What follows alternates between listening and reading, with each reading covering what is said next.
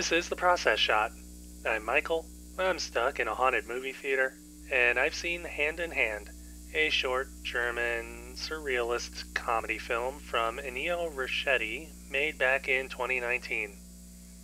It's actually so short that this review will probably be longer than the actual film. Anyways, it starts off with two politicians begrudgingly signing some kind of agreement at a press conference. They come face to face to shake hands, but both have a strong desire to take the upper hand. It's a struggle that soon grows into a horror when the men suddenly find themselves locked in a monstrous web of arms and hands, clawing at the other and soon consuming those in attendance. Nothing seems to be able to stop this black hole of chaos except for a lowly janitor who had been sitting by the sidelines of the conference.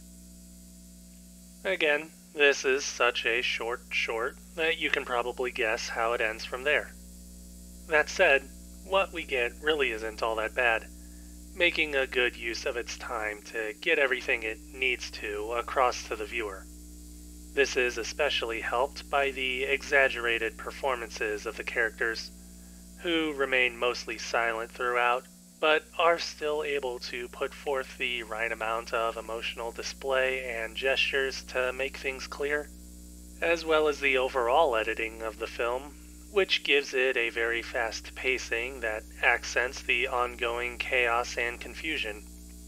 Cinematography is also helpful here, thanks to how clustered the actual environment is and how quickly panic descends when things get crazy. I really don't have all that much to say because of how quickly everything is wrapped up, while still being able to feel like a complete story. The comedic focus of the situation keeps things from feeling tonally imbalanced. The characters are only as deep as they need to be, and the technical production here is on point, from the visual style to the digital effects work.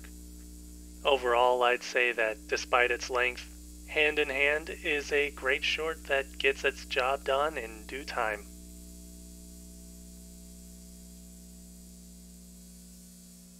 Hand in Hand Ennio Ruschetti 2019 Four and a half stars. I definitely recommend watching it if I were you.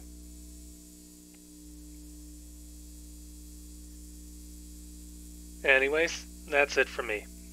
If you like this review, leave it a like. If you didn't, leave a comment. Subscribe to the channel for more reviews in the future. And time. Well, if you were keeping track, it's time. I uh, didn't think to time it myself, so I don't actually know if this is longer or shorter. Ah well.